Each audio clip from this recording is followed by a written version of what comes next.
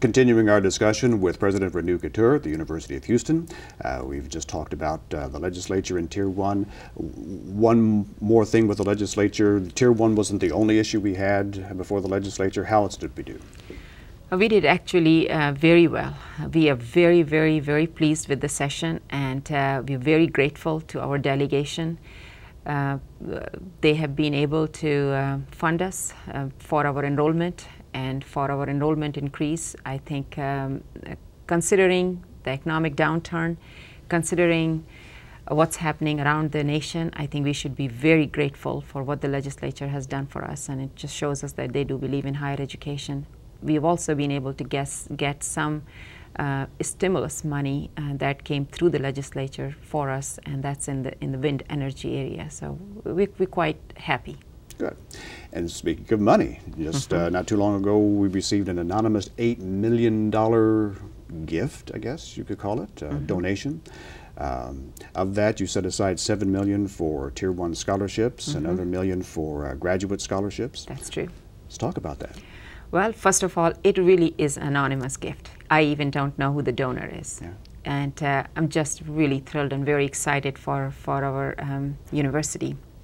Yes, 7 million of that we have put as a tier 1 scholars, which means right now if anybody is uh, endowing a scholarship, $30,000 or above, or a professorship um, or, or, graduate fellowship, it is possible for us to take match money from here. So suppose you were to give John $30,000 for a scholarship, we will take from this fund another $30,000 and put $60,000 behind your name to be awarded for for uh, trying to get our tier one level scholars into this university because we know we have to raise the caliber of entering class here. Mm -hmm.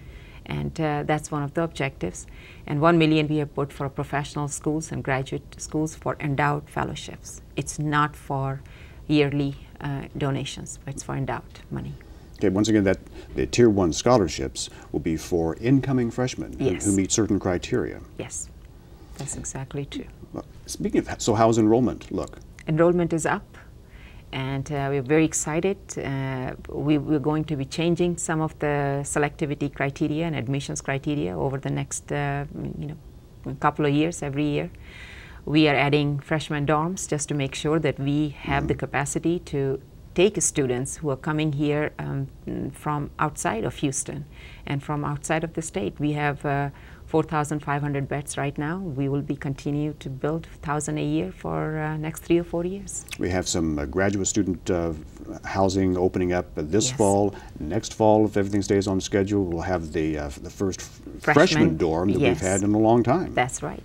So it's exciting times for us. And meanwhile, we'll also have the light rail come here, which will connect us to downtown. It will connect us to the Texas Medical Center and UH downtown. I mean, this is truly going to be an urban campus, an urban experience for anybody who wants to come in the middle of the city, but with the easy access to going to opera or symphony uh, or to a theater or play. I mean, uh, it's going to be an incredible experience here. Mm -hmm. Well, speaking of that, the arts and student success are two of what you've called the big rocks uh, mm -hmm. of the university. So what expectations do you have uh, for us in these areas? Well, um, for class, particularly, I think uh, mm, this is the soul, heart and soul of the university. You prepare um, the students to be good citizens, good human beings. I think you open the heart and soul, and uh, I always believe that it's very important. So the first thing in terms of uh, student success is you play an important role with general education. And I, I hope the, that class will continue to take leadership in that and continue to look for ways and guiding the university of how is it that we bring in students here part-time, full-time, traditional, non-traditional, and give them every tool that they need to graduate from here and graduate with the skills that they are going to need in this global marketplace. And as for the arts, I'm, i must tell you, I have attended several events here, uh, the music and uh, in, in dance and in theater. It's an absolutely spectacular program here.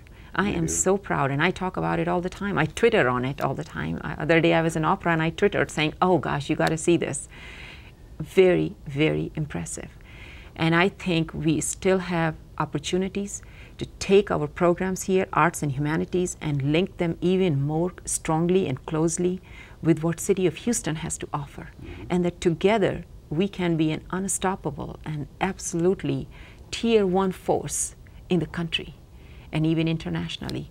So that's kind of the vision I have. Just continue to do what you do here, and uh, we'll try to support as much as we can, and uh, we'll try to, you know, go and forge partnerships that are necessary. The strategic plan that's working right now in in the arts area, I am just so excited to see that. Good. Twitter. You're on Twitter. I am on Twitter. So we can just log on we, under Renu Khator on Twitter, or well, you uh, might be able cougar, to find me. the top cougar or something. Or? You might be able to find me under Renu Khator, but uh, it's, it's, um, the name is UH Prez. UH Prez. Yes. With a Z or an S? With S. With an S. UH Prez. And. Um, so how many friends do you have? Uh, not too many because I haven't let anybody know. You're the first ones ah. knowing it. And uh, I will be twittering from Wales when I'm going with the students uh, from Choral Group. That's. They're competing in Wales, and I will be there, and uh, I'm going to Twitter from there the whole time. So I wish our students great success. I'm so proud of them, and I want to be there to, to see them succeed. Just another example of, of the quality that we have in our arts area, and this in the, in the Moore School of Music. Um, so. Absolutely, and humanities too. Let's not forget that. I mean, our creative writing. Everywhere I go, that's what I hear, mm -hmm. and our social sciences. I mean, people know. I'm in political science, and people know the strength at the University of Houston. Of course, we need to do a lot more. I mean, I think we need to, we need a, a, bigger footprint on the national scene.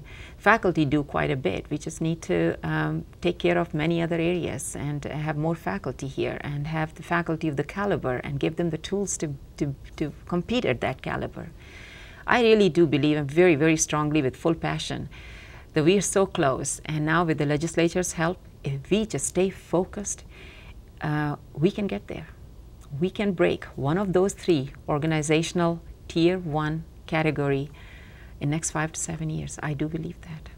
Well, we're with you on this. We believe with you too. Thank you. Renu Khator, the Chancellor of the University of Houston System and President of the University of Houston, thank you for being with us. Maybe we can make this an annual event. Absolutely. I'd love to be here Enjoy again. having you with us. Thank you. Thank you. And thank you for being with us, and we'll see you next month.